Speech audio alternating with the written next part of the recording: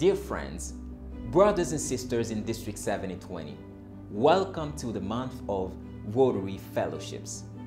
Paul Harris, the founder of Rotary, says, The foundation upon which Rotary is built is fellowship. On no less firm foundation could it have stood.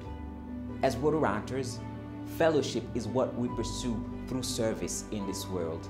Furthermore, fellowship is one of the five core values of Rotary.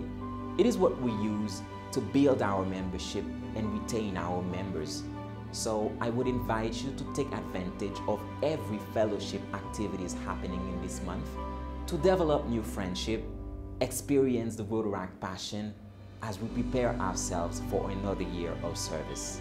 Now, as we're heading to the end of the epic Rotaract year 2021-2022, I'd like to extend gratitude, first of all, to my lovely wife, Kiana Theodore Pierre-Louis, for the incredible support provided since the beginning of the year, to my wonderful and exceptional epic district team, the secretary team, the communication team, the finance team, the event team, and the assistant district Rotaract representative team.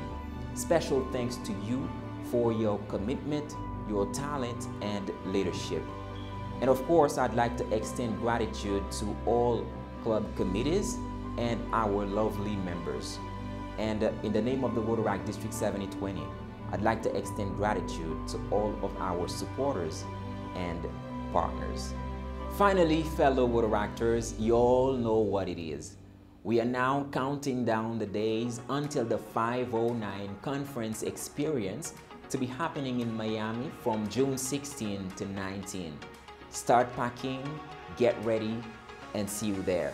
And of course, remember to never stop evolving the passion to inspire change.